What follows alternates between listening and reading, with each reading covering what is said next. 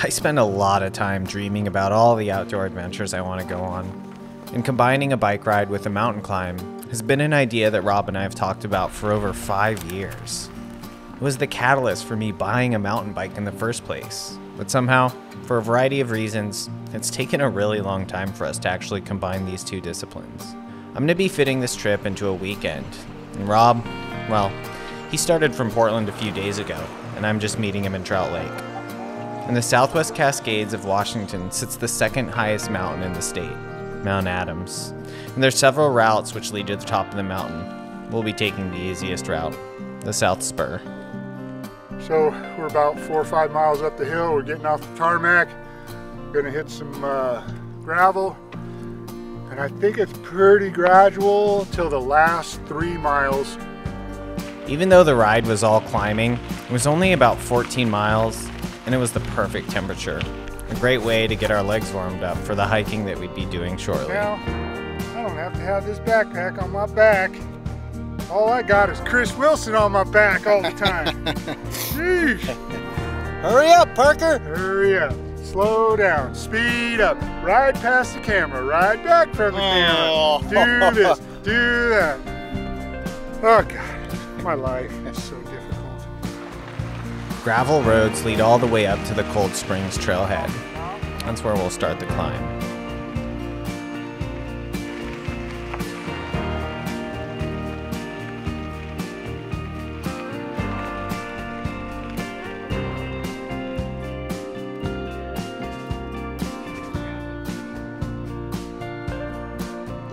How we doing, Parker? Doing good. Yeah. We, uh, we got about a mile and a quarter to go with about five to 600 feet. This this section, the last three miles up this hill, I was like, I, I just remember it being so steep in You the were scared. I was scared, but it's fine. We're doing great. Yeah. We're right on schedule. Uh, we're gonna get up there, and my wife is already up there. We're gonna meet her there. We are not taking support from her, Rob. Rob. emotional support, and then she's gonna climb with us. But we got to still unpack, repack. We're gonna load the bikes in the together. car so we don't have to worry about locking them Yes, up that's the other thing that is critical. We That's could put the helpful. we could put the bikes in the car. Anyway, we're doing great. It is a fabulous day. It's Oh. about 55 degrees, sunny, no wind. So happy to be out here. It's so good. All right. Okay. Ah, ah.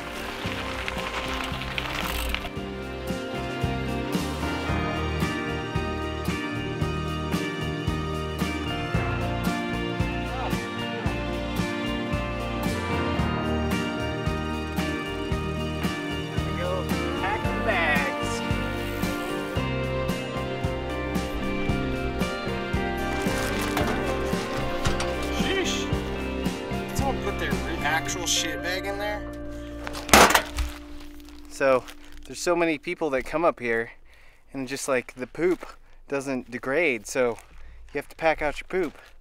That's cool that they have the bags here. It's lame that someone actually put a used shit bag in there. This is a non technical climb, meaning you don't need any technical mountaineering skills. There's no crevasses, no need for a rope, pickets, harnesses, that kind of stuff. Though, I'd still recommend carrying a proper set of crampons and an ice axe. I even brought proper mountaineering boots. Having said that, we saw people in trail runners and microspikes. Just because it's possible doesn't mean you should. Use your judgment, know your own skill set. How's it? It feels like an old friend that I never really liked, but I hung around with a lot. like Wilson. What? what are you doing? You're never gonna set the FKT like this. So it was a lot of gear to schlep around. It took a while to unpack, repack, disassemble the bikes, stash them away in the car. But with our packs finally loaded, we'd start heading up the dusty and rocky trail leading to Lunch Counter. Lunch Counter is the name of the popular base camp if you're doing this route in two days. So that's what we were aiming for.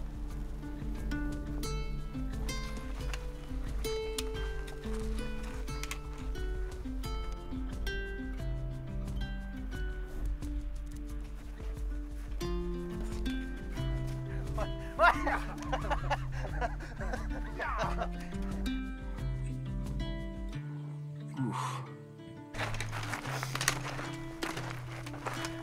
All right. Nice work. Woo. Fives. oh.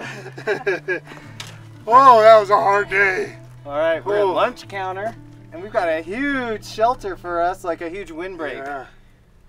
And we did 7,600 feet of vert today. Oof. Ooh, That's too much. Good job, boys. too much vert. Yeah, we're stoked. We got a great place. There's water right there. We're gonna post up here for the night, and we will get up early and head up the mountain. The lunch counter. You'll find huge windbreaks like this everywhere. We're happy to see. It wasn't as crowded as we thought. With lots of time to chill at camp, we enjoyed a beautiful sunset. Conked early.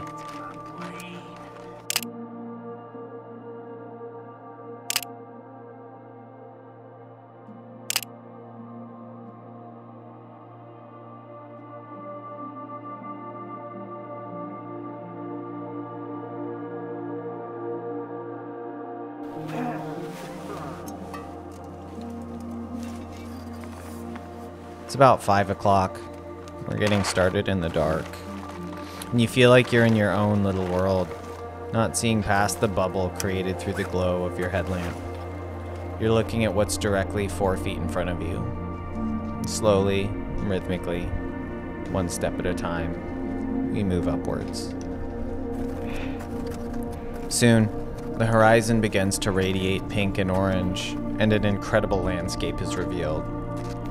You start to feel the warmth from the sun, and the snow beneath you is glowing. With each step, it reminds me of why I love this.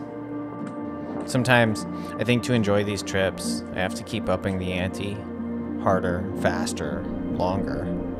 But this mountain, it's not difficult to climb, it's not extreme, it's really straightforward. I'm loving See, it. now I can't even see what's happening. Parker, what's up, bro? We're on Piker's Peak. Yeah. So if you're a quitter, piker, this is where you stay. We are not pikers. We are going to the summit. I was just gonna say, it sounds like I, I reached my summit, Parker. Yeah, no, no, no. You're killing it today. Oh my God, can't keep up with Wilson today. He's on fire. Yes, we can see the summit behind us right there. You can see the switchbacks. Looks like we're gonna be ditching the crampons for a lot of it, but we'll see. Yeah. How you feeling? Feel great. Good. Cool, man. Yeah. Woo.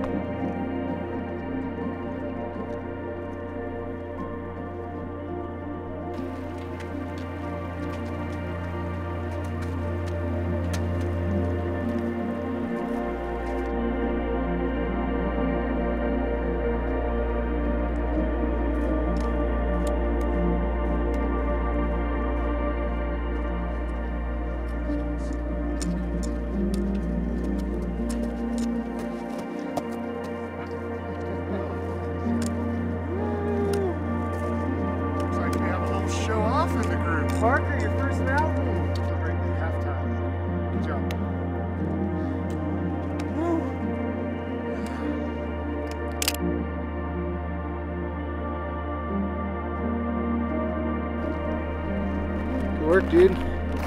Yeah. Not bad. Four Great days. conditions, man. Great conditions. Four days to get here. Whew. Next one we'll have to ride to Rainier. Uh-oh. That's a big one. That's a big boy.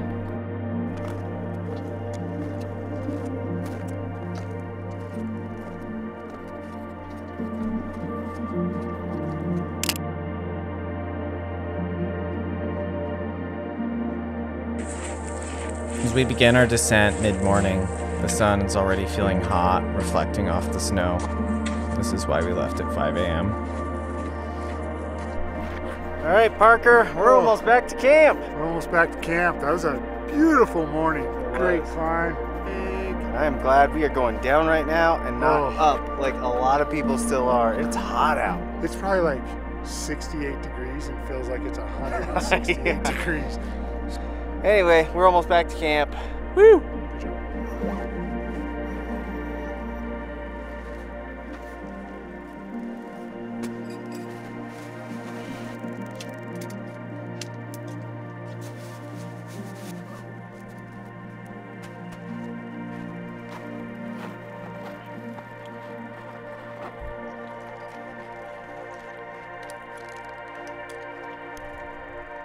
We take our time retracing our steps back to the car, where once more there'll be a gear explosion and an hour of unpacking and repacking.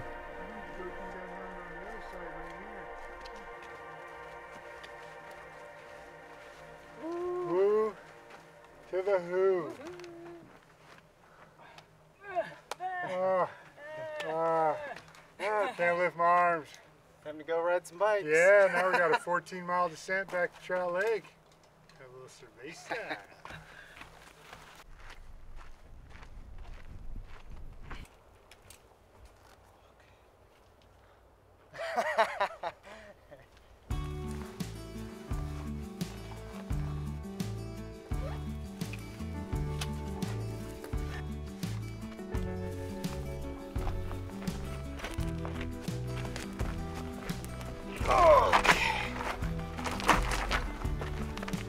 Parker.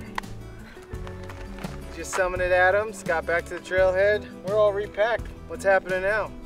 Uh, we're gonna ride back down to Trout Lake, meet my wife and have a beer. Chris is gonna go back to Portland, and I'm gonna ride my bicycle. I'm gonna stay the night in Trout Lake, and then ride my bicycle back to Portland to make to, to close the loop. Hell yeah. Yeah. Cool. Well, and this should be a fun descent for us because it's going to be pretty much all downhill. 14 miles of downhill. About that. Except for the washboard. Boo. Yeah. We got this. Well, I got front suspension. I ain't worried. Sucks to be me. All right.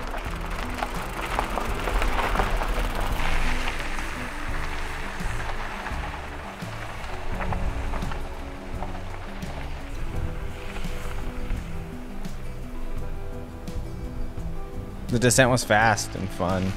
It was one of those descents that reminds you why you love riding a bike. Probably more fun for me than Rob.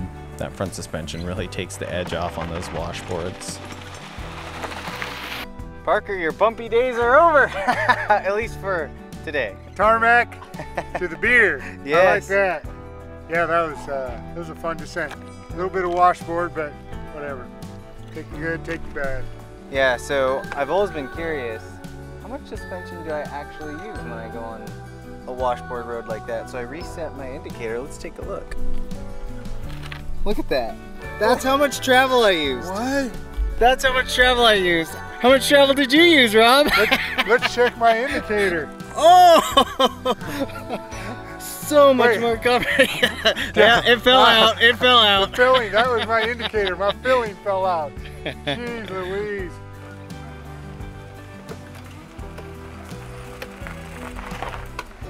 That was fun, dude. Was fun descent. You did it. Yeah, sadly, this marks the end of my journey. Parker still has more to come.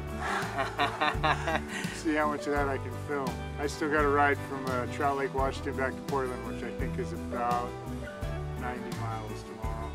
this was really fun, It was great. and it wasn't as terrible as I thought it was gonna be. I thought it was going to be much more difficult. Yeah, give you a call tomorrow. that's right. Good All work, right, dude. Let's get a beer. All right.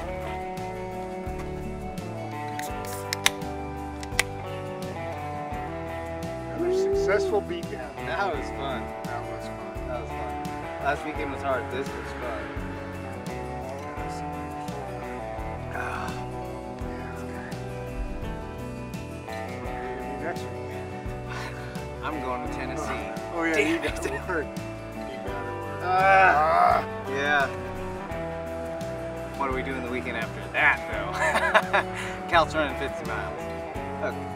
But what are we doing the weekend after that? Going to Utah. Woo! Oh, dude, that's gonna be a fun trip.